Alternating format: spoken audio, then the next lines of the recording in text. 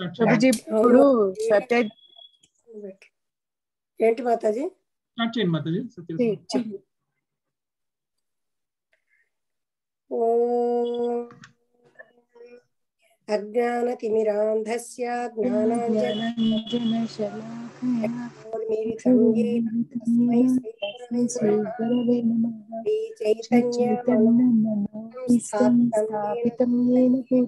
स्वयं रूपः कदा मह्यं ददाति स्वपदान्तिकं वन्देऽहं श्रीगुरु श्रीयुतपदकमलं श्रीगुरून् वैष्णवांश्च। श्रीरूपं साग्रजातं सहगणरघुनाथान्वितं। तं सजीवं साद्वैतं सावधूतं परिजनसहितं कृष्णचैतन्यदेवं श्रीराधा विशाखान्विताश्च। हे कृष्णा करुणा सिंधु दीनबंधु पते गोपेशा गोपिका कांता राधा कांता नमोस्तु ते। तप्त कांचन गौरांगी राधे वृंदावनेश्वरी वृषभानुसुते देवी प्रणमा हरिप्रिये। वाञ्छाकल्पतरुभ्यश्च कृपा सिन्धुभ्य एव पतितानां पावनेभ्यो वैष्णवेभ्यो नमो नमः। नम ओं विष्णु ॐ कृष्ण कृष्णप्रेष्ठाय भूतले। श्रीमते भक्तिवेदान्तस्वामिनिति नामिने। नमस्ते सारस्वते देवे गौरवाणी प्रचारिणे। निर्विशेष शून्यवादी पाश्चात्य देशतारिणे जय श्रीकृष्ण चैतन्य प्रभु निचानंद श्री अद्वैत गदाधर श्रीवासादि गौरभक्तवृंदा హరే కృష్ణ హరే కృష్ణ కృష్ణ కృష్ణ హరే హరే. హరే రామ హరే రామ రామ రామ హరే హరే. ఓం నమో భగవతే వ్యాసదేవాయ. హరే కృష్ణ ప్రభుజీ. హరే కృష్ణ ప్రభుజీ. థ్యాంక్స్ మాతాజీ సో మనము మూడవ స్కందం చదువుతున్నామండి. ఇరవై మూడవ అధ్యాయంలో ఉన్నాము. ఈ ఇరవై మూడవ అధ్యాయం వచ్చేసి మైత్రేయుడు విదురుడికి దేవహుతి గురించి చెప్తున్నారు. సో ఇంతకు ముందు వరకు చూస్తే దేవహుతికి కర్దముడితోటి వివాహం జరిగింది. ఆమె ఎంతో గొప్పగా సేవలు చేశారు కర్దముడికి. పార్వతీదేవిలాగా. సో పార్వతీదేవితో కంపేర్ చేయడం అనేది జరిగింది భవానీ అని. ఏ విధంగా అయితే భార్య భర్త ఒకసారి వివాహం అనేది జరిగిపోయిందో వివాహం జరిగిన తర్వాత ఆమె పుట్టింటి వాళ్ళ యొక్క సంబంధించినటువంటి ఆస్తిపాస్తులు కానీ లేకపోతే పేరు ప్రతిష్టలు కానీ వాటితోటి ఇంకా ఏ సంబంధము ఉండదన్నమాట. సో అవి చూసుకొని ఇంకా గర్వితురాలు కాకూడదు. సో భర్తకి ఏముందో అదే ఆమెకి హక్కుగా ఉంటుంది తప్ప అంతకు మించి వేరే ఏది హక్కుగా ఉండదు. ఆ విషయాన్ని తెలుసుకున్నాము. దేవహుతి ఎంత గొప్పగా సేవ చేసింది అనేటువంటి విషయం చూసాం. ఆమె దేహానికి ఆమె ఎంతో సౌందర్యవతి. ఇంతకుముందు ఆమె సౌందర్యాన్ని కూడా వర్ణించారు. గంధర్వులు సైతం కూడా ఆమె సౌందర్యాన్ని చూసి ఆ, కళ్ళు తిరిగి పడిపోయినటువంటి ఆ, సందర్భాలు కూడా ఉన్నాయి. అలాంటి సౌందర్యవతి అయినటువంటి దేవహుతి ఎప్పుడైతే కర్ధమముని వివాహం చేసుకుందో ఒక పేద ఆ, బ్రాహ్మణురాల్లాగా మారిపోయింది. ఆ భర్తకి సేవ చేయడం తప్ప వేరే మార్గం లేదనమాట సో ఎన్నో సంవత్సరాల పాటు వాళ్ళు తపస్సుల్లో ఉండి వాళ్ళు ఎప్పుడు తింటారో చూసుకోవడం వాళ్ళ వాళ్ళ ఆరోగ్యాలను చూసుకోవడం వాళ్ళకి అన్ని రకాల సేవలు చేస్తూ ఈమె శరీరం కూడా క్షీణించిపోయింది. సో దేవహుతి అంద విహీనురాలైంది సో ఆమెకున్నటువంటి అందం మొత్తం పోయిందనమాట. సో అంతగా కష్టపడి ఆమెకి ఇంకా ఆమెను చూసినటువంటి కర్తముడు అప్పుడు నువ్వు చాలా గొప్ప సేవ చేశావు. నీకు తెలియకుండానే నువ్వు నా యొక్క తపో ఫలాన్ని కూడా నువ్వు పొందేశావు అనేటువంటి విషయం ఆయన చెప్పడం అనేది జరిగిందనమాట. అంటే వివాహం అనేది ఏ స్త్రీకైనా తప్పదు. భర్తకి సేవ చేయటం అనేటువంటిది కూడా ఏ స్త్రీకైనా తప్పదు. ఒకవేళ భర్త గనక వైష్ణవుడు అయి ఉంటే ఆ సేవ యొక్క ఫలం అనేది చాలా బాగుంటుంది. అది ఆధ్యాత్మికమైనటువంటి ఫలం అయి ఉంటుంది. కాబట్టి భర్తని వైష్ణవుడిగా మార్చి మార్చగలిగితే మీరు చేసేటువంటి ప్రతి పని కూడా భగవత్ సేవ అయిపోతుంది. వైష్ణవుడికి చేసేటువంటి ప్రతి సేవ కూడా భగవంతుడికి చేసేటువంటి సేవతోటే సమానం. కాబట్టి భర్త గనక వైష్ణవుడు అయి ఉంటే అప్పుడు మీకు భగవత్ సేవతో సమానం అయిపోతుంది మీ కర్మ ప్రతిదీ కూడా. సో ఆ విషయాన్ని మనకి ఇక్కడ దేవహుతికి సందర్భంలో భర్త వైష్ణవుడు కాబట్టి ఆ కర్ధముడు వైష్ణవుడు కాబట్టి ఆ- ఆయనకి చేసినటువంటి సేవ భౌతికమైపోలేదు. సో ఇంకొకటి ఆమెకి ఆమెకి కర్ధముడికి ఉన్నటువంటి శక్తి సామర్థ్యాలు ఏమిటి అంటే దివ్య దృష్టి కూడా ఇవ్వగలడు ఆ, ఎవరికైనా. సో ఆయన నువ్వు చేసినటువంటి సేవ ఫలితంగా నీకు నేను దివ్య దృష్టి ఇస్తున్నాను నువ్వు చూడు నీకు నువ్వేం పొందుతున్నావో నువ్వు చూడు. నువ్వు నేను చేసినటువంటి తపస్సు యొక్క ఫలాన్ని నువ్వు ఇప్పుడు అనుభవించాలి నువ్వు అని చెప్పేసి ఆయన అనడం అనేది జరుగుతుంది అన్నమాట అయితే ఇప్పుడు ఆ కోరిక కోరుకోమని చెప్తారు. ఏం కావాలో కోరుకో అది తీర్చాల్సినటువంటి బాధ్యత నాకు ఉంటుంది అనేటువంటి విషయం చెప్తారు. అప్పుడు ఆమె ఏముంటుంది? వివాహం సమయంలో నువ్వు నాకు ఒక పుత్రుణ్ణి ఇస్తావు అనేటువంటి విషయం చెప్పడం అనేది జరిగింది. అయితే నాకు ఆ పుత్రుడు కావాలి. మరి ఆ పుత్రుడు కలగాలి అంటే ఇంకొక విషయం ఏం చెప్పారు అంటే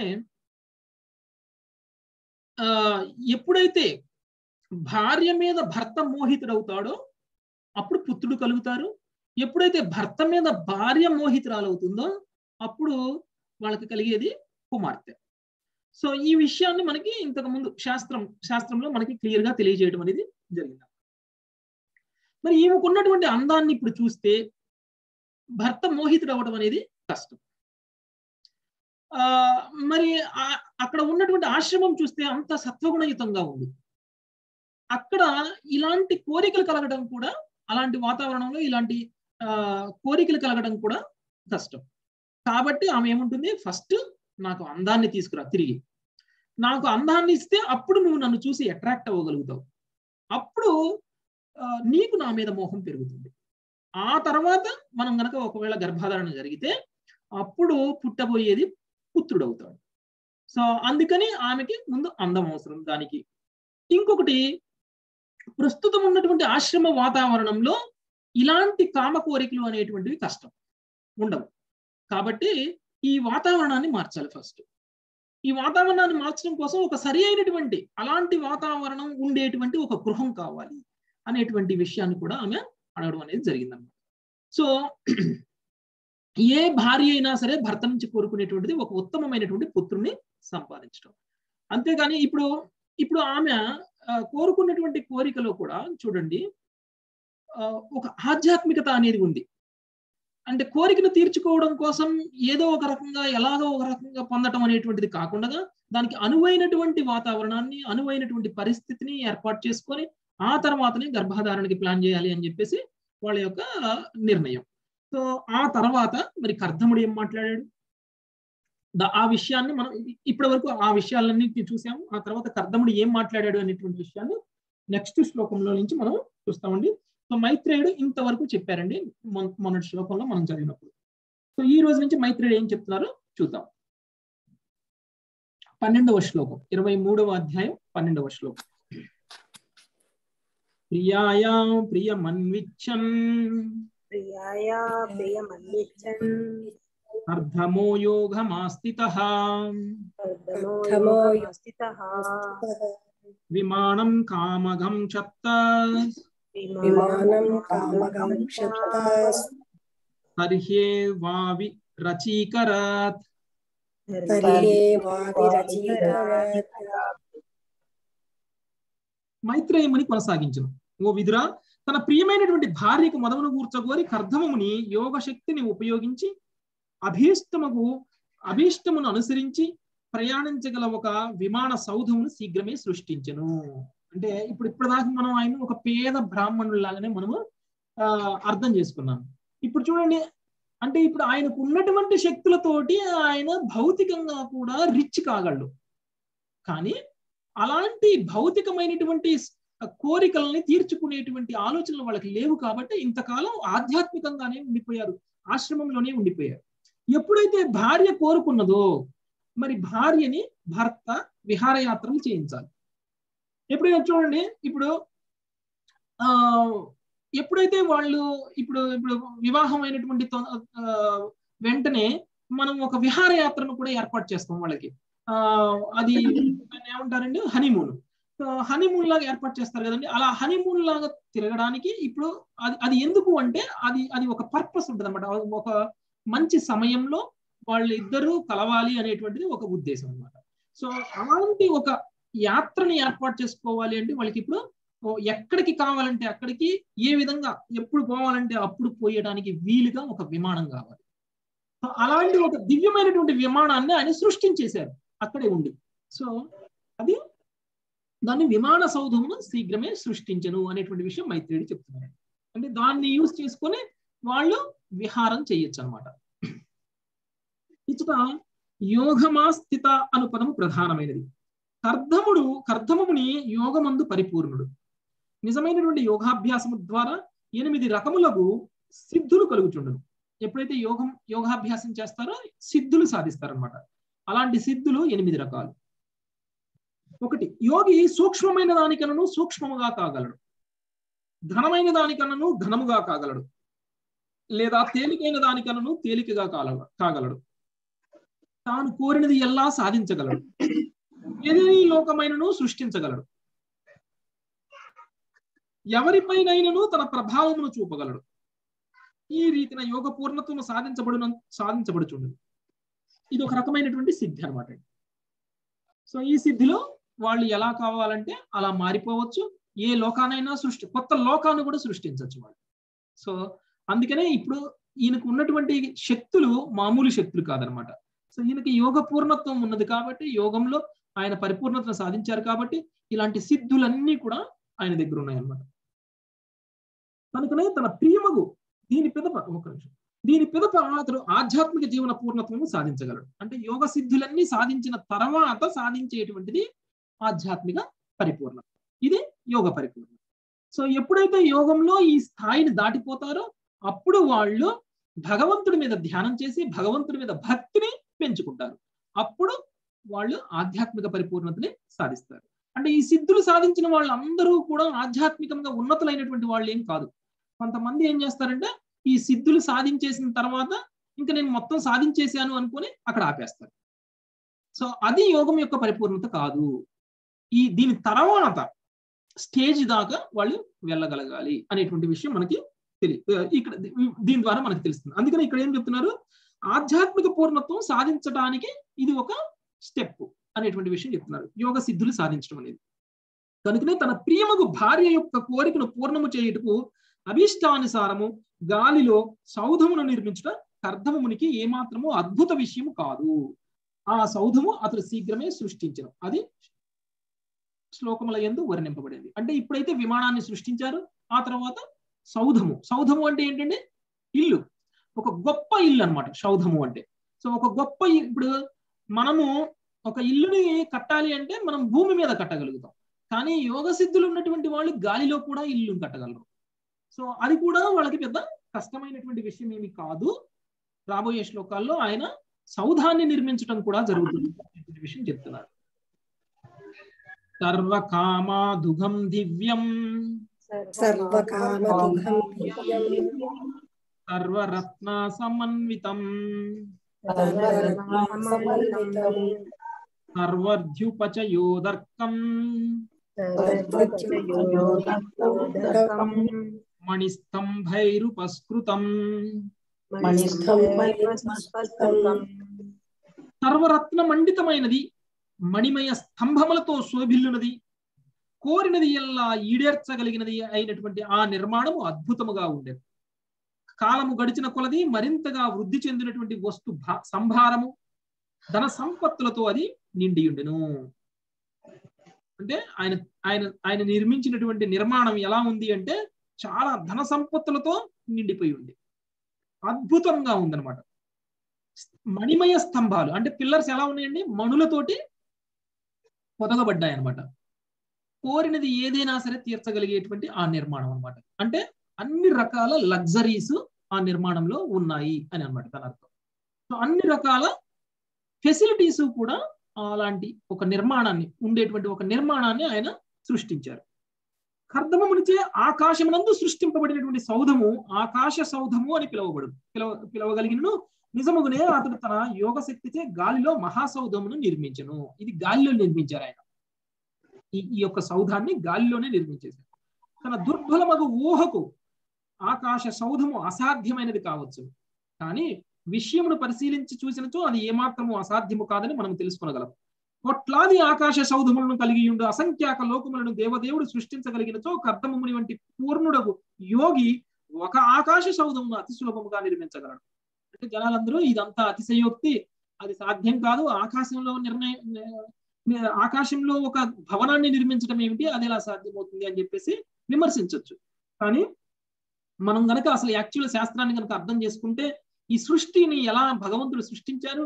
కోట్లాది ఆకాశ సౌధాలతోటి సమానమైనటువంటి ఈ సృష్టిని సృష్టించినటువంటి భగవానుడు సృష్టించగలిగినప్పుడు ఆయన ద్వారా శక్తి పొందినటువంటి అర్ధముని లాంటి ఒక వ్యక్తి ఒక సౌధాన్ని నిర్మించడం పెద్ద కష్టమేం కాదు అనేటువంటి విషయం చెప్తున్నారు.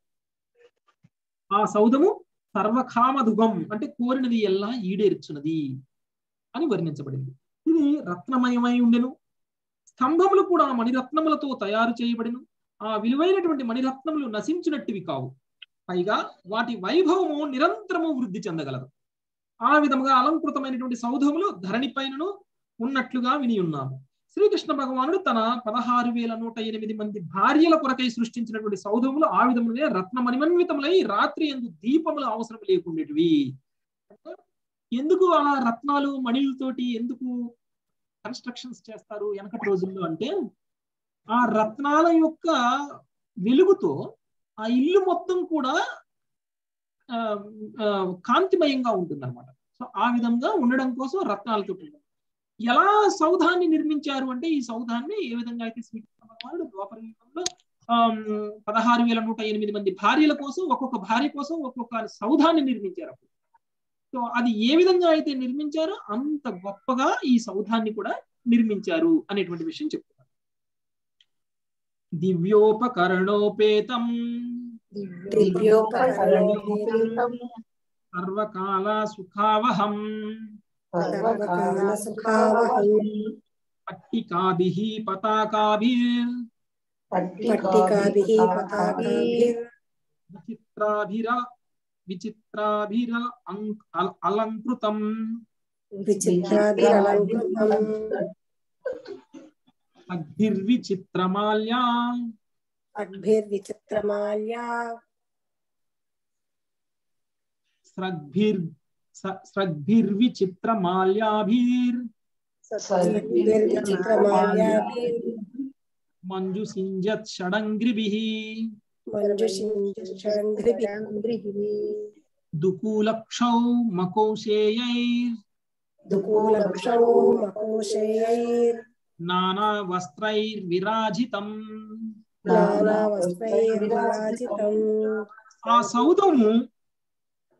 అవసరమైనటువంటి సమస్త ఉపకరణములతో నిండి ఉండి సర్వకాలముల ఎందును సుఖాభావముగా ఉండెను.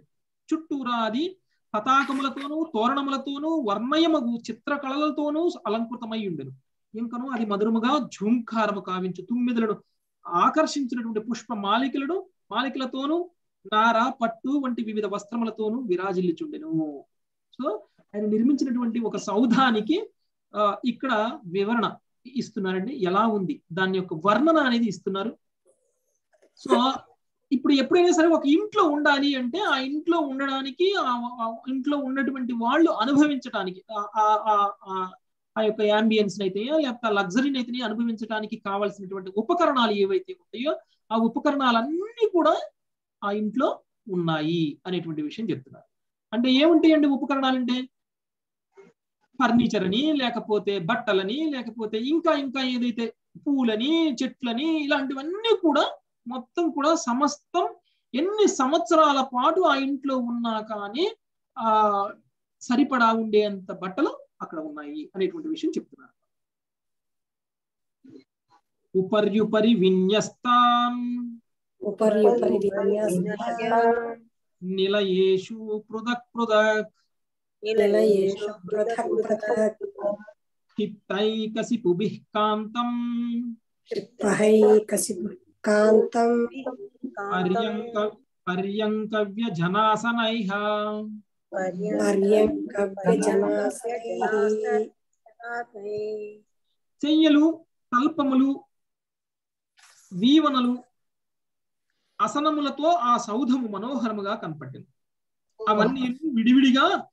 ఏడంతస్తుల్లో ఏర్పాటు చేయబడి ఉండేను. ఆ సౌధం మొత్తం కూడా ఏడంతస్తుల. ఇదివరకు చెప్తూ ఉండేవాడు చిన్నప్పుడు మనకి కథలు చెప్తూ ఉంటే మన పెద్దవాళ్ళు ఏదైనా సరే ఒక గొప్ప కన్స్ట్రక్షన్ గురించి చెప్పాలి అంటే ఏడు అంతస్తుల మేడ అనేటువంటి విషయాన్ని చెప్తూ ఉండేది అనమాట సో ఇక్కడ కూడా ఈయన చెప్పిన ఈయన ఇక్కడ ఈయన సృష్టించినటువంటి సౌధము ఏడు అంతస్తులలో ఉందంట. ఒక్కొక్క అంతస్తులో ఉన్నటువంటి ఒక్కొక్క రూమ్స్లో కావాల్సినటువంటి బెడ్స్ అన్ని కూడా ఉన్నాయి. తల్పాలు అంటే బెడ్స్. తర్వాత ఆసనాలు అంటే కూర్చోవడానికి సోఫాలు అన్ని ఉన్నాయి ఫర్నిచర్ మొత్తం కూడా ఆ సౌధం మొత్తం కూడా అవసరమైనటువంటి ఫర్నిచర్ మొత్తం కూడా ఆ సౌధంలో ఉన్నది. ఏడు అంతస్తుల్లో అన్ని రూమ్స్లో కూడా ఉన్నాయి అని చెప్తున్నారు. ఆ సౌధము పలు అంతస్తులను కలిగి ఉన్నదిగా ఈ శ్లోకము నుండి అవగతమగుచున్నది.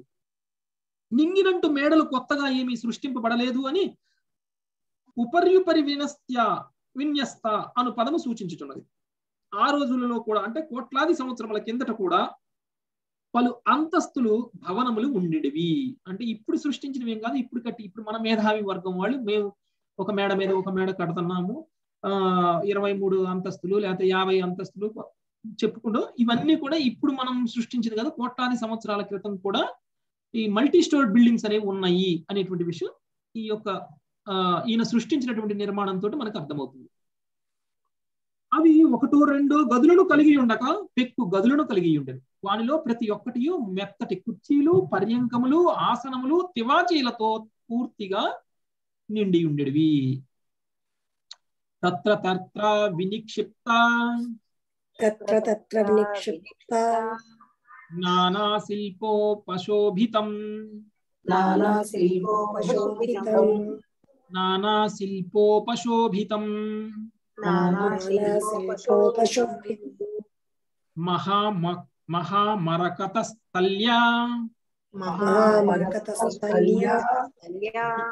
దుష్టం విద్రుమ వేదిభిః దుష్టం విద్రుమ వేదిభిః కుడ్యములపై అచ్చటచ్చట గల శిల్పములతో దాని శోభ ఇనుమడించెను. వైఢూర్య మండితముగు ఆరుగుల అరుగులతో దాని నేల మకరతమణి నిర్మితమై ఉండెను. అంటే అక్కడ శిల్పాలు కూడా శిల్పాలతో నిండిపోయింది అనమాట అంటే ఆ శిల్పాలు కూడా అక్కడక్కడ పెట్టడం అనేది జరిగింది. అంటే ఇప్పుడు మనం చెప్ మనం మనం మన ఇళ్ళలో పెట్టుకుంటాం కదండి అక్కడక్కడ ఆ షో కేసులు లాగా లేకపోతే షో షో కోసం అక్కడక్కడ విగ్రహాలు లాగా పెట్టుకుంటాం కదా. అలా అక్కడ కూడా కొన్ని శిల్పాలు ఉన్నాయి ఆ శిల్పాల వల్ల ఆ యొక్క రూమ్స్ని రూమ్స్ యొక్క అందం కూడా పెరిగిపోయింది. అక్కడ ఉన్నటువంటి గదుల యొక్క అందం కూడా పెరిగిపోయింది. అక్కడక్కడ అవసరమైన చోట ఎక్కడెక్కడ శిల్పం ఉండాలో అక్కడ. ఉండడం వల్ల వాటి యొక్క అందం పెరిగిపోయింది.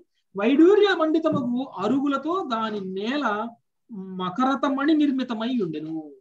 అంటే వైఢూర్యాలతోటి పదగబడి ఉంది. అరుగులతో అరుగులు ఉన్నాయి. అంటే కూర్చోవడానికి అవసరమైనటువంటి అరుగులు అంటే నేల అనమాట ఫ్లోరు ఆ విధంగా ఉందన్నమాట. ప్రస్తుత కాలమున జనులు తమ వాస్తుకలను గాంచి గర్వించుచున్నాను. నేల మాత్రం సాధారణంగా రంగు కలిపినటువంటి సిమెంట్ తోనే తయారు చేయబడుచుంది. కానీ కర్ధముని యోగశక్తిచే నిర్మితమైనటువంటి సౌధము మాత్రం వైఢూర్యమణితమగు అరుగులను కూడినటువంటి మరకత మణిమయ నేలను కలిగి ఉండేదని గోచరించుతున్నది. అంటే అంటే ఇప్పుడు ఇది ఇది ప్రభుపాదులు వారు రాసినప్పుడు సమయంలో ఆయన ఏం చెప్తున్నారు? అప్పట్లో ఫ్లోరింగ్స్ ఎలా ఉండేయండి? సిమెంట్ ఫ్లోరింగ్స్ ఉండేవి ఇప్పుడు మనం కొంచెం టైల్స్ ఫ్లోరింగ్ వేస్తున్నాం. కానీ కర్ధమముడు సృష్టించినటువంటి ఫ్లోరింగ్ ఎలా ఉందండి? మరకత మణులతోటి ఉంది అనమాట అంటే ఇంకా గొప్ప స్టోన్. అంటే మనం వాడే గ్రానైట్ స్టోన్ కంటే గొప్ప స్టోన్ అనమాట ఇది. ధ్వాసు విమ ధ్వాసు విద్రుమ దేహల్యా. భాతం వజ్ర కపాటవత్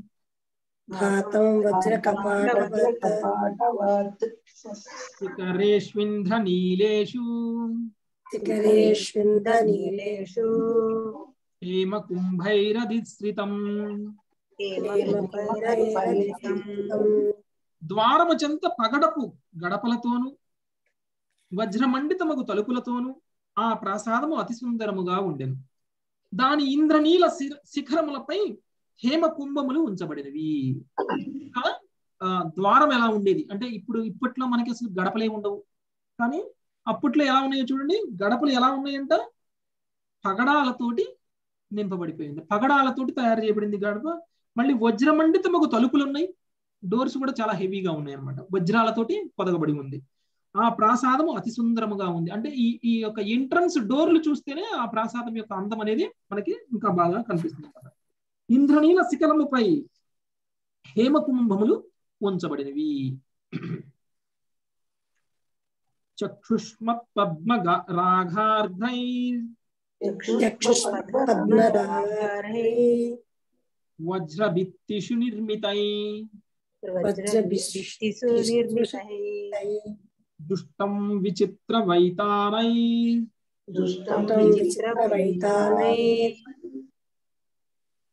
మహార్హైర్హై మతోరణై.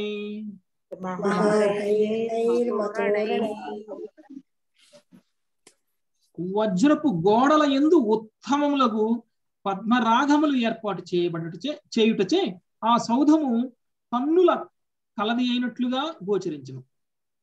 అద్భుతమగు గోపురములతోనూ విలువైనటువంటి బంగారు ద్వారములతోనూ అది అలంకరింపబడిను. అంటే ఇంకా గోడలు ఎలా ఉన్నాయి? ఆ సౌధం యొక్క గోడలు వజ్రాలతోటి ఉన్నాయట. పద్మరాగాలు ఏర్పాటు చేయటచే ఆ సౌధము కన్నులు కలదయ్యినట్లుగా ఉన్నది. అంటే అక్కడ స్టోన్స్ ఆ కన్ను అంటే గోడలకి కూడా కళ్ళు ఉన్నట్లు అలాంటి అలంకరణ ఉందన్నమాట.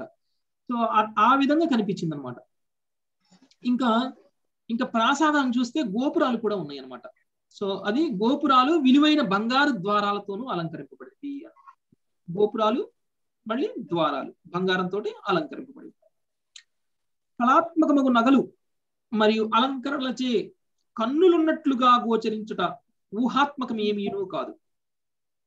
ఈ మధ్య కాలంలో మొఘల్ చక్రవర్తులు తమ ప్రాసాదములను మణిమయ కనుగుట్లు కలిగినటువంటి రత్న ఖచ్చిత పక్షుల అలంకరణలతో నిర్మించి ఉంటుంది ఆ మణులు ఇప్పుడు అధికారుల స్వాధీనమై ఉన్నను అలంకరణలు మాత్రం ఈనాటికి ఢిల్లీ అందలి కొన్ని మొఘల్ చక్రవర్తుల భవంతుల్లో కలవు.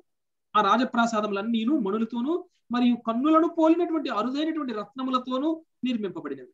ఆ విధముగా అవి రాత్రి సమయమున దీపములు అవసరం లేకనే ప్రకాశములు ఇవ్వగలవు. అంటే ఎలాంటి మణులు ఉన్నాయి అంటే ఇదంతా అతిశయోక్తి ఏం కాదు. ఇదంతా ఊహించుకున్నటువంటి బిల్డింగ్ ఏం కాదు.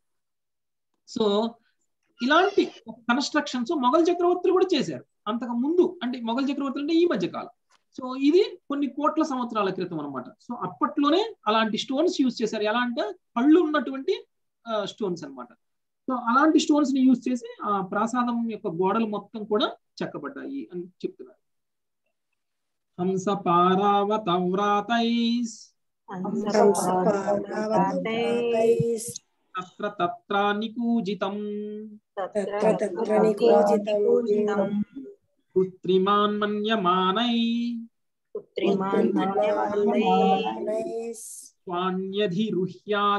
చ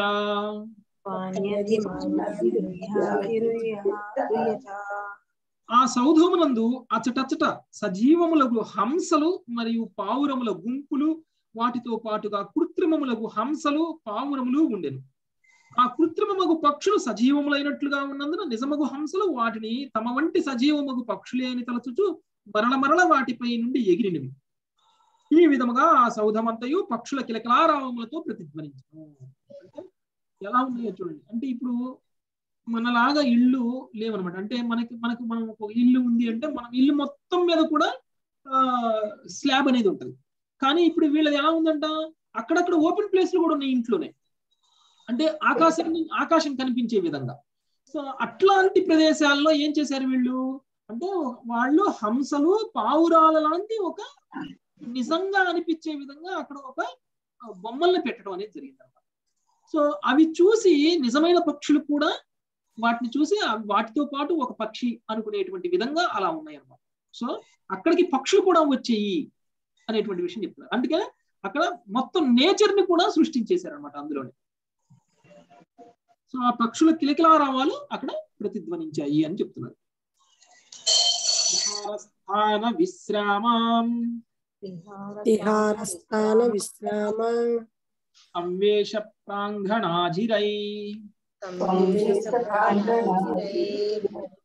यतोपजोषं रचितै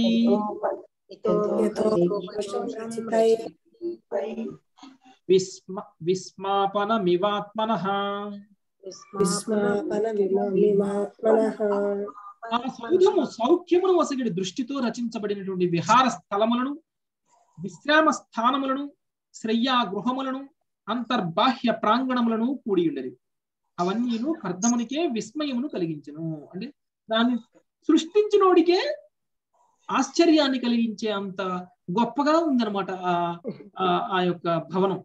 ఒక్కొక్కసారి మనం అనుకుంటాం కదండి మనం ఎంతో ఖర్చు పెట్టి ఇల్లు కడతాము కట్టిన తర్వాత చాలా బాగా వచ్చిందని మనం చూసి మురిసిపోతాం కదండి.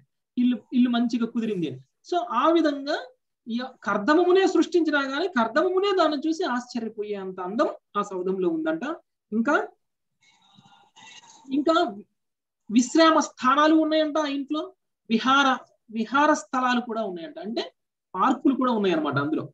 సో అంత గొప్పగా ఆ స్థలాన్ని చూశారు. ఇంకా శయ్యాగృహములను అంటే గెస్ట్ హౌస్ లాగా అనమాట అంటే ఇంకా అందులోనే రెస్ట్ తీసుకోవడానికి అవసరమైనటువంటి రూమ్స్ కూడా ఉన్నాయి. అంతర్బాహ్య ప్రాంగణములను కూడి ఉండను. అంటే లోపల ఉంది ప్రాంగణం బయట కూడా ఉంది. అంటే ఇప్పుడు మనకున్నటువంటి ప్లేస్ మొత్తం కూడా ఒక సెంట్ కూడా ఒక ఒక ఒక ఒక స్క్వేర్ ఫీట్ కూడా వదిలిపెట్టకుండా మనం కన్స్ట్రక్షన్ చేస్తాం కదండి. ఇక్కడ అలా లేదనమాట కన్స్ట్రక్షన్ ఇంటికి బయట కూడా స్థలం ఉంది అనేటువంటి విషయం చెప్తున్నారు. సాధు పురుషుడైనటువంటి కర్ధముని సామాన్యమగు ఆశ్రమమునందు జీవించుచుండెను. కనుకనే విశ్రామ స్థానములు శయ్యా గృహములు అంతర్బాహ్య ప్రాంగణములు కలిగినటువంటి సౌధము తన యోగ శక్తిచే నిర్మితమైనప్పుడు అతడే స్వయంగా ఆశ్చర్యచకితుడయ్యను. భగవదనుగ్రహ పాత్రుడైన వాని విధము ఆ రీతిగానే ఉండదు భక్తుడు కర్దముడు భార్య యొక్క అభ్యర్థనలపై తన యోగశక్తి ద్వారా అట్టి విభూతిని ప్రదర్శించను. కానీ అయ్యది ప్రకటితమైనప్పుడు అటువంటి వ్యక్తీకరణము ఏ విధముగా సాధ్యమయ్యనో అతనికే అవగతము కాలేదు. అనగా యోగశక్తి ప్రకటితమైనప్పుడు కొన్ని మార్లు యోగికే ఆశ్చర్య ఆశ్చర్యచకితుడగును. అంటే వాళ్ళలో ఉన్నటువంటి శక్తి ప్రకటమైనప్పుడు ఇంత ఉందా ఇలా ఉందా అని ఆ శక్తిని ప్రదర్శించిన వాడే ఆశ్చర్యం పోతాడనమాట. సో అది అదే పరిస్థితి ఇప్పుడు కర్దముడికి కూడా ఉందన్నమాట. యోగ శక్తి చోటి భార్య కోరుకున్న లాంటి సౌధాన్ని నిర్మించినప్పుడు ఆ సౌధాన్ని చూసి అలాంటిది ఇంకెప్పుడు ఇంతకు ముందు చూడలేదు అన్నటువంటి భావనలో ఆయన ఆశ్చర్యంగా చూశారన్నమాట ఈ దృగృహం తత్పశ్యంతి ఈ దుర్గృహం తత్పశ్యంతి నాతి ప్రీతేన చేతసా ప్రీతేన చేతసా సర్వభూతాశయాభిజ్ఞా సర్వభూతశయాభిజ్ఞా కావోచత్కర్దమః స్వయం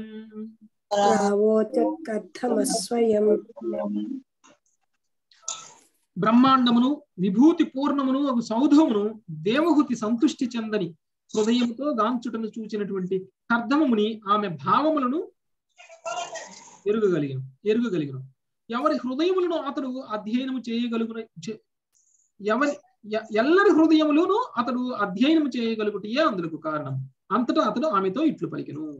మరి మనం మామూలుగానే ఒక గొప్ప గిఫ్ట్ ఇచ్చినప్పుడు భార్యకి ఆ గిఫ్ట్ ఏ ఆ గిఫ్ట్ తీసుకున్నటువంటి భార్య ఏ విధంగా ఫీల్ అవుతుంది అనేటువంటిది భర్త అబ్జర్వ్ చేయడం అనేది జరుగుతుంది అనమాట సో అలానే ఇప్పుడు ఇంత గొప్ప విషయాన్ని ఆయన సృష్టించారు కోరుకున్నటువంటి విషయాన్ని. ఇది భార్య కోరుకున్నటువంటి విషయాన్ని. మరి భార్య ఎలా ఫీల్ అవుతున్నారు అనేటువంటి విషయాన్ని ఆయన గమనిస్తున్నారు అనమాట ఆమె ఏం చెప్పకపోయినా ఆమె భావాలని ఆయన అర్థం చేసుకున్నారు. ఎందుకు అంటే ఎవరి హృదయాన్నైనా కానీ ఆయన చదవగలిగినటువంటి శక్తి కూడా ఆయనలో ఉందన్నమాట. అంటే ఇప్పుడు ఆ మనిషిని చూస్తే మనిషి హృదయంలో ఏమనుకుంటున్నారు అనేటువంటి విషయం కూడా ఆయనకి తెలుస్తుందంట. అయితే ఇలాంటి ఒక గొప్ప సౌధాన్ని చూసి ఆ భార్య సంతృష్టి చెందలేదు అనేటువంటి విషయం ఆయనకు అర్థమైంది. ఆమెను చూడగానే. సో అప్పుడు కర్దమముని ఆమెతో మాట్లాడుతున్నారు దేవహుతి దేవహుతి తన దేహమును అలక్ష్యపరచుచు బహుకాలము ఆశ్రమమందే గడిపినది. ఆమె ధూళితో నిండి ఉండేను వస్త్రధారణ సరిగా లేకుండెను. అద్భుతముకు సౌధమును నిర్మింపగలిగినందులకు కర్ధమముని ఆశ్చర్యచకుతుడైన అతని భార్య దేవహుతి సైతము విభ్రమ చెందెను. అంతటి వైభవోపేతముకు సౌధమును ఆమె ఏ రీతి వసించగలదు? ఆమె విస్మయమును కర్ధమముని అవగతము చేసుకునేందుకు ఈ విధముగా పలికెను. అంటే ఆమె ఉన్నటువంటి పరిస్థితిని చూసి అప్పటికి ఆమె ఆమె శరీరం అంతా క్షీణించిపోయింది. ఆమె సేవలు చేసి ఉంది కాబట్టి ఇంత గొప్ప సౌధాన్ని చూసినటువంటి ఆమె ఏ విధంగా అలాంటి సౌధంలో ఉండబోతుంది అనేటువంటి విషయానికి ఆ, ఆయన ఇప్పుడు మాట్లాడబోతున్నారు. ఆమె మనసులో ఉన్నటువంటి మాటను గ్రహించినటువంటి ఆయన ఏం మాట్లాడుతున్నారో చూద్దాం. నిమజ్జాస్మిన్ హృదే వీరు నిమజ్జాస్మిన్ హృదయ భీరు విమానమిధమారుహ ఇదం శుక్ల కృతం తీర్థం శుక్లకృతం తీర్థం ఆశిషాం యాపకం నృణాం ఆశిషాం నృణాం ఓ దేవహుతి నీవు మిగులు భీతి చెందినట్లు గోచరించుచున్నావు. మానవుల సర్వాభీష్టములను వసగినటువంటి శుక్ల కృతమగు బిందు సరోవరమున మొదట స్నానమాచరించి పిదప ఈ విమానమును అధిరోహింపము. అంటే ఇప్పుడు చూసిందంతా కూడా సౌధము గాలిలో అన్నాం కదండి. ఈ గాలిలో ఎగిరేటువంటి విమానం లాంటి సౌధం అన్నమాట ఇది. అంటే ఈ సౌధంలో ఉంటే ఈ సౌధంలో కూర్చొని ఈ సృష్టి మొత్తం తిరిగేయచ్చు అనమాట అంటే ఒక చోట స్థిరంగా ఉండేటువంటి సౌధం కాదు ఇది. అంటే దాన్ని విమానంలో నిర్మించినటువంటి సౌధం అన్నమాట. అలాంటి సౌధంలోనికి అధిరోహించడానికంటే ముందు నువ్వు వెళ్ళి ముందు బిందు సరోవరంలో స్నానం చేసిరా అనేటువంటి విషయం కర్ధముని భార్యకి చెప్తున్నారు అన్నమాట తీర్థ స్థానములకు ఏగి అచటగల జలమునందు స్నానమాడుట నేటికి నీ ఆచారముగా ఉన్నది. బృందావనముల ఎందు జనులు యమునా నది ఎందు స్నానమాడుదురు. ప్రయాగ వంటి ఇతర ప్రదేశములలో వారు గంగా నదిలో స్నానమాడుదురు. తీర్థమాశిషాం యాపకం అను పదము తీర్థస్థానమున స్నానమాడుట ద్వారా కోరికలు తీరుగా తీరుటను సూచించు. బిందు సరోవరం స్నానమాడిటని స్నాన స్నానమాడమనియు అంతట పూర్వపు సౌందర్యము మరి మరియు దేహకాంతి తిరిగి రాగలదనియు కర్దముని తన భార్యకు తెలియదు. ఇప్పుడు ఇదంతా ఉంది సరే నాకు అందం లేదే నా అందమంతా పోయింది అనేటువంటిది ఆమె బాధ కావచ్చు. ఆ బాధని తెలుసుకున్నాడు కాబట్టి నువ్వు ముందెళ్ళి బిందు సరోవరంలో స్నానం చెయ్యి అనేటువంటి విషయం చెప్పారన్నమాట. అంటే బిందు సరోవరంలో నుంచి స్నానం చేసి బయటకు వచ్చేసరికి ఆమె అందం అంతా మారిపోతుంది అనేటువంటిది ఆయన యొక్క ఆలోచన. అందుకనే ఆమె ముందు బిందు బిందు సరోవరానికి వెళ్ళమన్నారు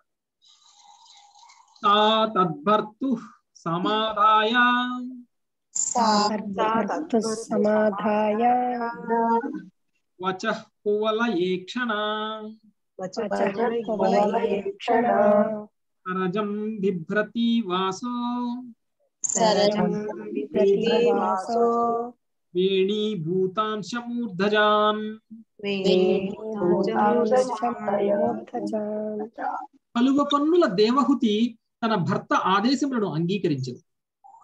ఇంటికి లేనటువంటి వస్త్రములు? జడలు గట్టినటువంటి శిరోజములు కారణమున ఆమె ఆకర్షణీయంగా గోచరింపకుండెను.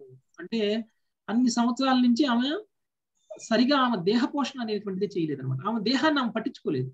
ఆమెకు ఉన్నటువంటి బాధ్యతల్లా కూడా భర్తే.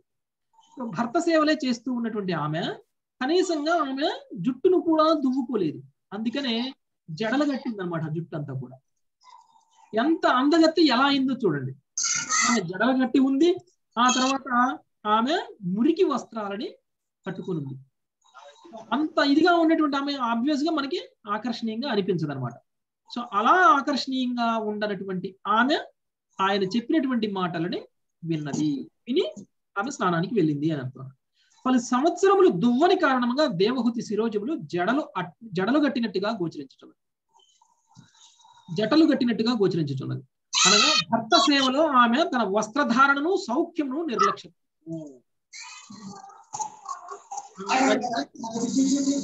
రాధారాణి మాతాజీ మీరు మ్యూట్ చేయండి. చాలా నాయిస్ వస్తుంది.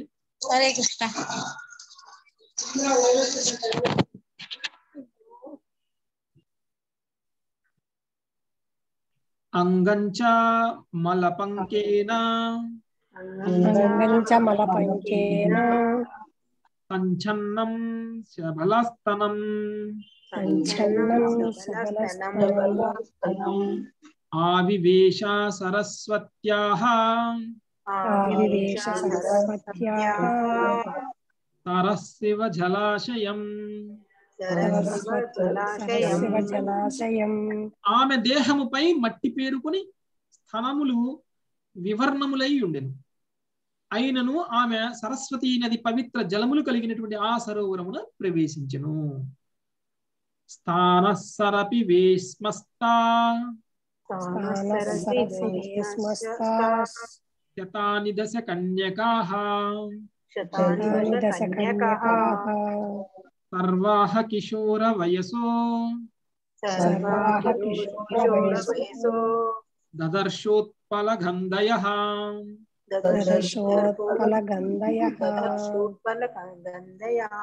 ఆ సరోవరపు అంతర్భాగమున గల గృహమున నవ యవ్వనవతులను మరియు పద్మము వలె సుగంధము కలవారును అగు వెయ్యి మంది కన్యలను ఆమె గాంచెను. అంటే ఒక కిషోర వయసులో ఉన్నటువంటి వాళ్ళు అంటే యవ్వనంగా ఉన్నటువంటి వాళ్ళు ఒక వెయ్యి మంది కన్యలు ఆ సరోవరం చుట్టూ కూడా ఆమెకి కనిపించారన్నమాట. అది కూడా ఆయన యొక్క సృష్టి. వాళ్ళందరూ కూడా ఇప్పుడు ఆమెకి పరిచారికలు అనమాట అంటే ఇప్పుడు ఆమె ఎన్ని సంవత్సరాల నుంచి ఆమె అనుభవించినటువంటి సుఖాన్ని ఇప్పుడు ఆమెకి ఆయన ఇవ్వబోతున్నారనమాట తాం దృష్ట్వా సహాసోత్థాయ. తాం సహస్రాయ రోచుః ప్రాంజలయ స్త్రియ. రోచుః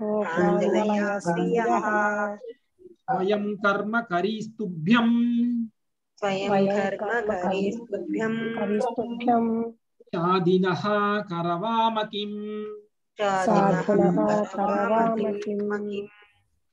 ఆమెను గాంచినంతనే ఆ దేవతా కన్యలు దిక్కున లే- ఆ, దిక్కున లేచి నిలబడి ముకులిత హస్తులై మేము మీ పరిచారకులము. మేము ఏది చేయవలనో తెలుపుడు అని పలికిరి. అంటే ఇంతకాలం ఆమె శ్రమ పడుతుందండి. గిన్నెలు గడగటం కానించి అన్ని. సో ఇప్పుడు ఆమెకి సేవలు చేసేటువంటి వాళ్ళు వెయ్యి మందిని సృష్టించాడు ఆయన ఇప్పుడు. సో వాళ్ళందరూ కూడా ఎప్పుడైతే యజమాని యజమాని చూసినప్పుడు సేవకులు ఏ విధంగా లేచి నిలబడి గౌరవించి మీకు ఏం కావాలో చెప్పండి మేము అది చేస్తాము అని అంటారో అదే విధంగా అక్కడ ఉన్నటువంటి వెయ్యి మంది యువతి కన్యలు. వాళ్ళు కూడా ఎలా ఉన్నారు? చాలా సౌందర్యంగా ఉన్నారు. వాళ్ళ నుంచి కూడా సుగంధం వస్తుంది. సో అంత గొప్ప దేవకన్యలు అనమాట వాళ్ళు. సో అలాంటి దేవకన్యలతోటి సేవ పొందించు సేవ చేయించుకునేటువంటి భాగ్యం ఆమెకి ఎందుకు వచ్చిందండి? దేవహుతికి ఇంత అదృష్టం ఎందుకు వచ్చిందండి? ఆమె వైష్ణవుణ్ణి సేవించింది కాబట్టి. సో ఒక వైష్ణవ సేవ యొక్క గొప్పతనం అదనమాట ఎవరైనా సరే ఒక వైష్ణవుని కనుక సేవిస్తే వాళ్ళు పొందేటువంటి ఆనందం వాళ్ళు పొందేటువంటి ఇది భౌతికమైనటువంటి దేనితోటి కూడా కంపేర్ చేయలేము అనమాట సో అంత గొప్ప సేవ ఆమె చేసింది కాబట్టి ఆమెకి దేవతా కన్యలు లాంటి వాళ్ళే పరిచర్యలుగా పరిచర్య పరి- పరిచారకులుగా దొరికారు ఆమెకి.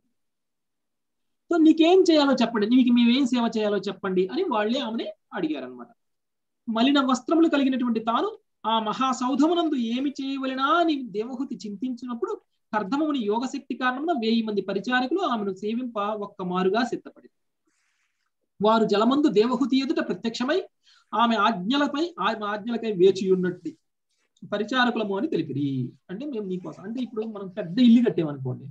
భార్య ఫస్ట్ ఏమంటుందండి? ఇంత ఇంటికి నేను సేవ చేయాలా అంటుంది. కదండి? దీని అన్నింటినీ రోజు ఊడవాలా తుడవాలా ఇదంతా రెడీ చేయాలా? ఇదంతా ఎలా సాధ్యమవుతుంది? ఇప్పుడు ఆమె మనసులో ఉన్నటువంటి బాధ అలాంటిదే కావచ్చు. అది అర్థం చేసుకున్నటువంటి అర్థముని ఆమెకి సేవలు చేయడం కోసం వెయ్యి మందిని సృష్టించారు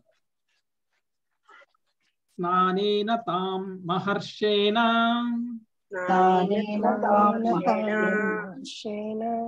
స్నాపయిత్వా మనస్వినిం.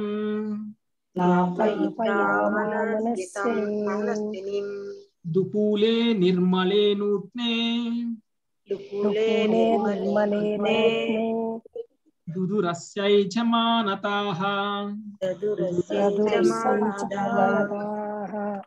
దేవహుతి అమిత గౌరవమును కలిగినటువంటి ఆ కన్యలు ఆమెను ఆ రీతి ఆహ్వానించింది. విలువైనటువంటి తైలాదులతో స్నానమాచరింపజేసినటువంటి పిమ్మట నిర్మలములను నూతనములను శ్రేష్టములను వస్త్రములను ధరింపజేసిరి. అంటే ఆమెకు స్నానం చేయించడం కూడా వాళ్ళు చేశారు ఆమె స్నానం కూడా ఆమె చేసుకోవాల్సినటువంటి అవసరం లేదు. అలాంటి సేవకులని ఆయన ఇచ్చేశారు. ఆ తర్వాత ఆమెకి శ్రేష్టమైనటువంటి వస్త్రాలని అందించారు. నూతనములు శ్రేష్టములు. భూషణాని భూషణాన్ని వరీయాంసి ద్యుమంతి చ అన్నం సర్వగుణోపేతం. అన్నం సర్వగుణోపేతం. పానం చైవామృతాసనం. పానం చైవామృతాసనం. చైవామృతాసవం. చైవామృతాసవం. పిదప వారు ఆమెను శ్రేష్టములను అమూల్యములను అగు కాంతిమయమైనటువంటి ఆభరణములతో అలంకరించారు. ఆ పిదప సర్వగుణ సమన్వితమగు ఆహారమును ఆసవమని పిలువబడు మధురమగు మత్తు పానీయమును వసగిరి. అంటే ఇన్ని సంవత్సరాల నుంచి ఆమె దేహం మొత్తం శుష్కించిపోయింది. ఇప్పుడు ఆమెకి ఆహార పదార్థాలు ఇచ్చారు. సో అవి తింటే తప్ప ఆమె మళ్ళీ శరీర శక్తిని మళ్ళీ పొందలేదన్నమాట. సో అందుకనే అలాంటివి ఇచ్చారు. మధురమగు మత్తు పానీయాలను కూడా వసగిరి అన్నారు. ఆసనము అనేది ఒక ఆయుర్వేద రసాయనమే గాని మద్యము కాదు. మూలికల నుండి ప్రత్యేకముగా తయారు చేయబడు అది దేహ స్వస్థత కొరకు జీవకణముల ఎందు రసాయన ప్రక్రియను వృద్ధి చేయను. అంటే ఇక్కడ ఇచ్చినటువంటి మధురం మధురమైనటువంటి మత్తు పానీయం ఏదైతే అన్నారో అది కషాయం అనమాట మనం ఏ ఏ విధంగా అయితే మన శరీరంలో ఉన్నటువంటి ప్రాబ్లమ్స్ సాల్వ్ చేసుకోవడానికి మనకి ఆయుర్వేదంలో ఏ విధంగా అయితే మెడిసిన్ తాగుతామో అలా అనమాట ఇప్పుడు ఈమెకున్నటువంటి శారీరక స్థితిని ముందు వాళ్ళు బాగు చేయాలి. సో అది బాగు చేయడం కోసం ఆమె తాగినటువంటి ఆ పానీయం అనమాట సో ఎప్పుడైతే ఆ పానీయం తాగుతుందో ఇప్పుడు చచ్చిపోయిన సెల్స్ అన్ని కూడా మళ్ళీ రీయాక్టివేట్ అవుతాయి అనమాట సో బాడీలో. సో అందుకోసం ఇవ్వబడింది అని చెప్తున్నారు. అతాధర్షే స్వమాత్మానం.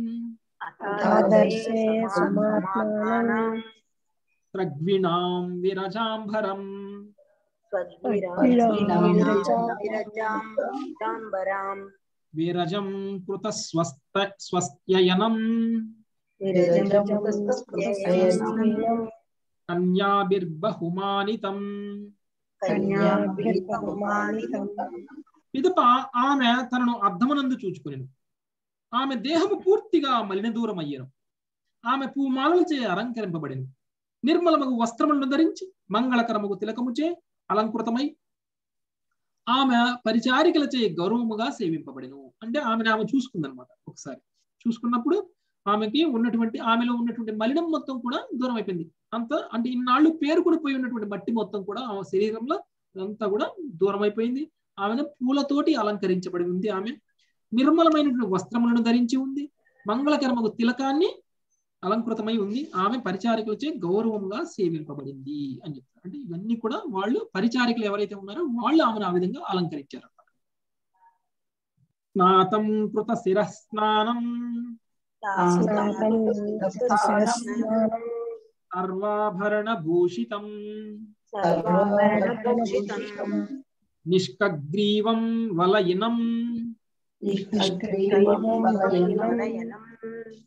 కాంచన నూపురం కూజత్ కాంచన నూపురం అభ్యంగ స్నానమును ఆచరించిన ఆమె సర్వ ఆభరణములతో అలంకృతమయ్యను. పథకమున పథకమును కలిగినటువంటి ఒక ప్రత్యేకము కంఠాభరణము ఆమె ధరించిన. అంటే లాకెట్ తోటి అన్నమాట. కరకంకణములను బంగారు నూపురములను ఆమె దాల్చి ఉండెను అంటే బంగారు ఆభరణాలన్నీ ధరించింది అనేటువంటి విషయం చెప్తారు. కృత శిరస్నానము అనేది పదము ఇచ్చట ప్రయోగించబడింది. తగినందినటువంటి విధులు విషయమున స్మృతి శాస్త్రపు నిర్దేశములను అనుసరించి స్త్రీలు ప్రతిరోజు కంఠము వరకు స్నానమాడుటను అనుమతింపబడింది తడి జుట్టు జలుబును కలుగు చేయను కనుక శిరోజములను ప్రతిరోజు వారు నీటితో శుభ్రపరచన అవసరం లేదు. అంటే తలస్నానం చేయరు అని అన్నమాట కేవలం కొన్ని ప్రత్యేక సందర్భములయందే వారు శిరస్నానమును చేయరు ఈ సందర్భంలో దేవహుతి శిరస్నానము కావించి తన శిరోజములను చక్కగా శుభ్రపరుచుకున్నది.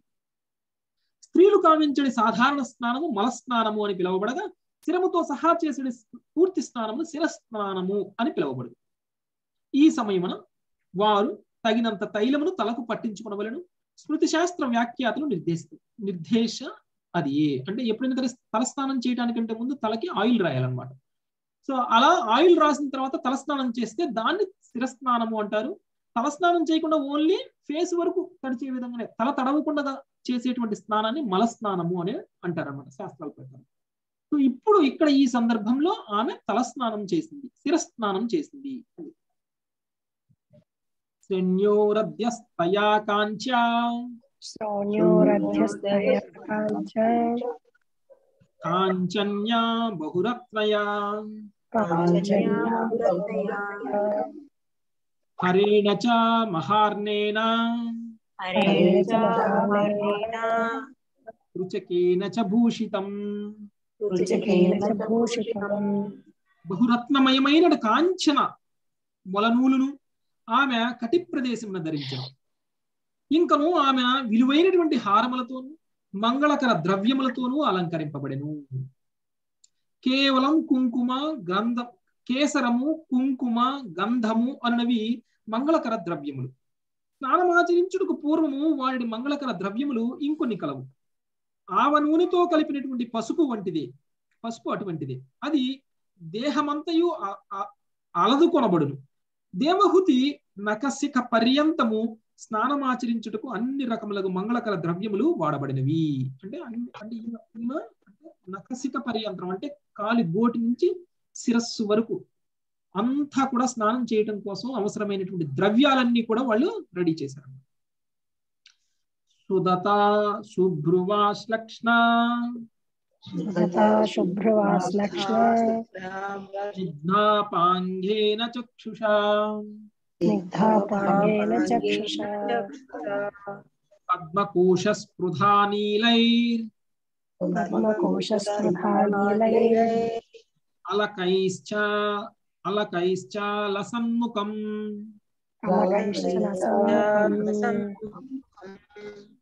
సుందరముగు దంత వరుసలతోను చక్కని కనుబొమ్మలతోను ఆమె ముఖము శోభించెను.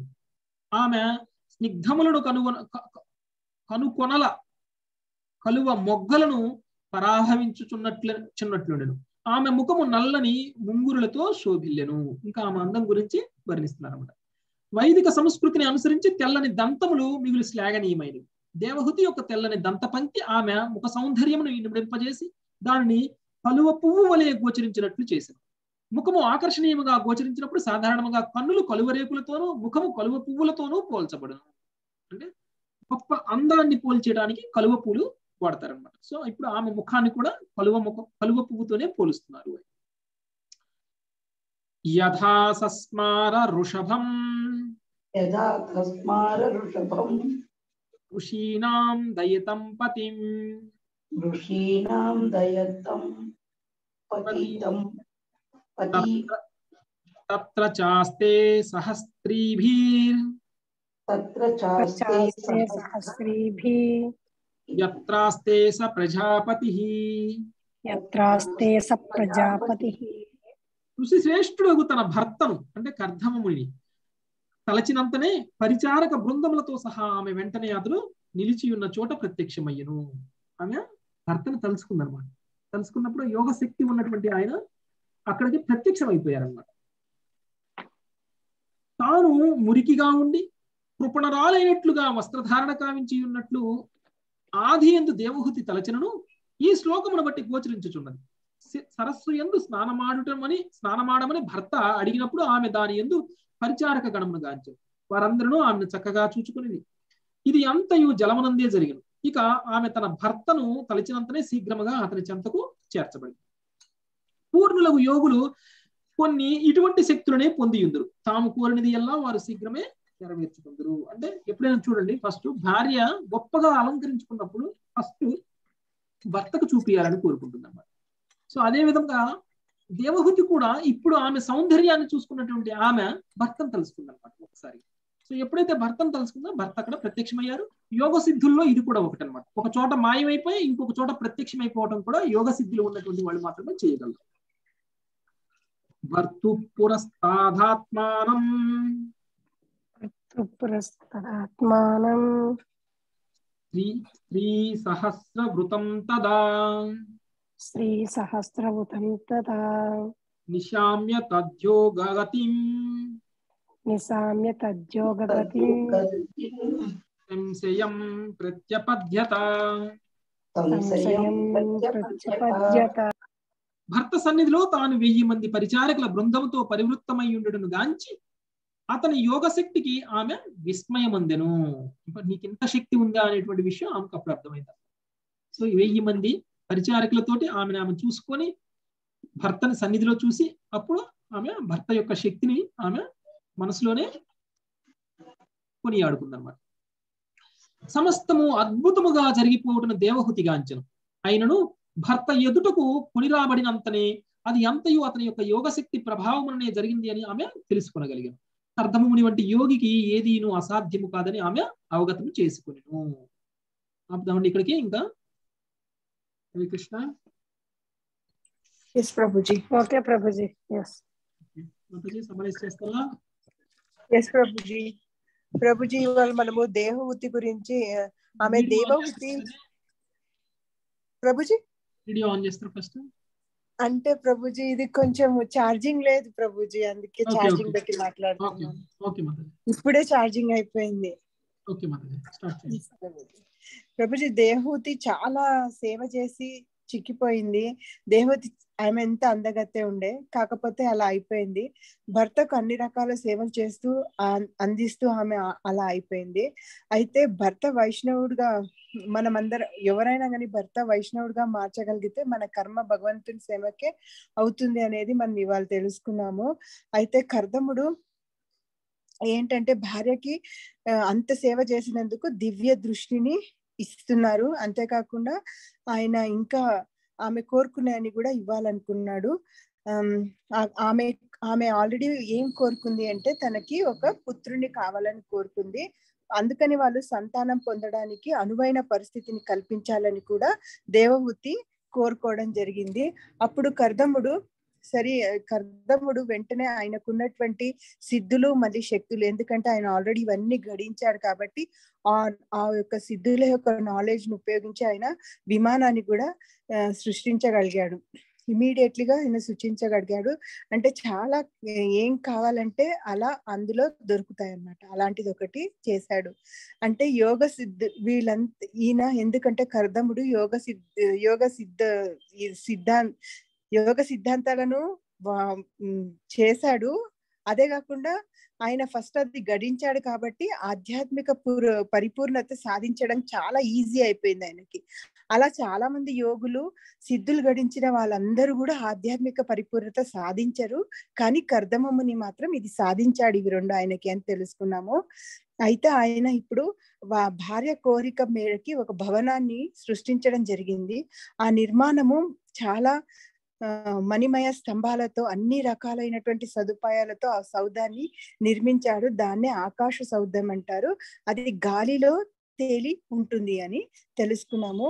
ఆ సౌధ ఆ సౌధం ఏం కోరుకుంటే అవన్నీ ఇస్తుంది. అది రత్నాలతో కూడుకొని ఉన్నది. అన్ని రకాలైనటువంటి వెలుగులు దాంట్లో.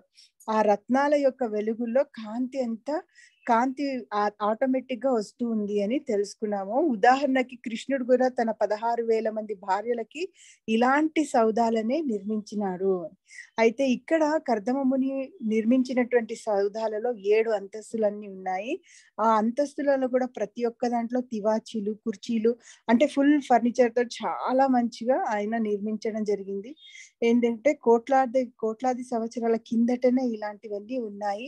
అదే కాకుండా నానా రకాలైనటువంటి శిల్పాలతో కూడా చాలా చక్కగా అలంకరించబడింది లోపల. అక్కడక్కడ శిల్పాలన్నీ కూడా అమర్చబడ్డాయి. ఎందుకంటే ఆ భవనానికి అందాన్ని చేకూర్చడానికి శిల్పకళ కూడా దాంట్లో ఉంది అని తెలుసుకున్నాము. ఇంకా అదే కాకుండా ఆ ఇంకా వాళ్ళు ఆ రాళ్ళని ఆ ఫ్లోరింగ్ చేయడానికి మరకద మణిలతో చేయడం జరిగిందంటే అవి అంత చాలా ఖరీదైనటువంటి వస్తువులను రాళ్ళని అందులో దాంట్లో ఉపయోగించడం జరిగింది. అయితే అక్కడ ఉన్నటువంటి గడపలు కూడా పగడాలతో చేశారు ద్వారాలన్నీ వజ్రాలతో చేశారు గోపురాలు కూడా చాలా బాగా కట్టారు గోడలకు కూడా వజ్రాలను పెట్టాడు అంటే ఆ అంత అంత చక్కటి అలంకరణతో ఆ భవనాన్ని అంత బాగా అలంకరించారు అని తెలుసుకున్నాము. అయితే ఇవన్నీ కొంతమంది అనుకుంటారు ఊహలని కానీ ఇది హండ్రెడ్ పర్సెంట్ నిజం. ఎందుకంటే మన పూర్వీకులు రాజవంశీయులకు కూడా మణిమాణిక్యాలతో ఉన్నటువంటి కిరి కిరీటాలను కానీ అన్ని చూసాము. ఇంకా మొఘల్ చక్రవర్తులు కూడా ఆ కాలంలో వాళ్ళు యూజ్ చేసేవాళ్ళు. అలాంటి మణిమయ భరితమైనటువంటి వజ్రాలు అన్ని సామాన్లు కూడా వాళ్ళు పెట్టుకునేవాళ్ళు. అందుకనే మనం ఇవన్నీ కూడా పాజిటివ్గా జరిగినాయి నమ్మితే బాగుంటుంది అనేసి అనుకున్నాము. అదే విధంగా ఇక్కడ ఆ ఈ భవనం ఎలా అంత పెద్ద భవనం వాడు ఏడంతస్తులు కట్టిన దాంట్లో కూడా చాలా అక్కడక్కడ వాళ్ళు ఓపెన్ ప్లేస్ని కూడా ఉంచారంటే అక్కడ హంసలు పావురాలు అవిటి బొమ్మలుగా కూడా చెక్కి అక్కడ పెట్టడం జరిగింది. అయితే నిజమైన పక్షులు కూడా అక్కడ అక్కడ తిరుగుతూ చాలా రకాల కోలాహలాన్ని చేస్తూ చాలా ఆశ్చర్యపరిచాయి అని తెలుసుకున్నాము. అదే విధంగా అసలు కర్దమ మహామునినే దాన్ని చూసి చాలా ఆశ్చర్యపోయాడు. ఎందుకంటే ఆ వాళ్ళకు ఉన్నటువంటి సిద్ధుల శక్తితో వాళ్ళే చేస్తున్నారు. కానీ ఆయన కూడా దాన్ని చూసి చాలా ఆశ్చర్యపడిపోయాడు. ఇంకా అందులో ఇంకేమేం పెట్టాడంటే స్వయ అంత పడుకోవడానికి గదులను అంతర్బహర్ ప్రాంగణాలతో చాలా బాగా బిల్డింగ్ని ఆయన కట్టుకోవడం జరిగిందని తెలుసుకున్నాము. అయితే అది చూసిన తర్వాత కూడా దేహబుద్ధి కొంచెం బాధపడ్డాం. ఎందుకంటే తన శరీరం మొత్తం క్షీణించిపోయింది కాబట్టి ఆయన ఆ- విమానం ఉన్నా కానీ తను కొంచెం సంతోషం వ్యక్తం చేయకపోవడంతో అది తెలుసుకున్నటువంటి కర్దమ మహాముని బిందు సరోవరంలో వెళ్ళి స్నానం చేసుకొని రమ్మని చెప్తాడు. ఆమె దాంట్లో వెళ్ళి స్నానం చేయడానికి వెళ్ళినప్పుడు అక్కడ ఆల్రెడీ వెయ్యి మంది పరిచారికలు అక్కడ ఆమెకి ఉన్నారు చేయడానికి. సో ఆమె వస్త్రధారణ గాని ఆమె శిరోజాలు గాని ఆమె దేహం మొత్తం గాని చాలా కృషించిపోయింది. సో ఆ తర్ అందుకనే ఆమె ఆ దాంట్లో స్నానం చేయడానికి వెళ్ళ వెళ్ళినప్పుడు వీళ్ళందరూ పరిచారికలు అందరూ కలిసి తనని అలంకరించడం జరిగింది. హరే కృష్ణ ప్రభుజీ. Okay Mataji Hare Krishna. Thank you very much. So ఈ రోజు అంతా కూడా వర్ణనే. సృష్టించినటువంటి సృష్టి యొక్క వర్ణన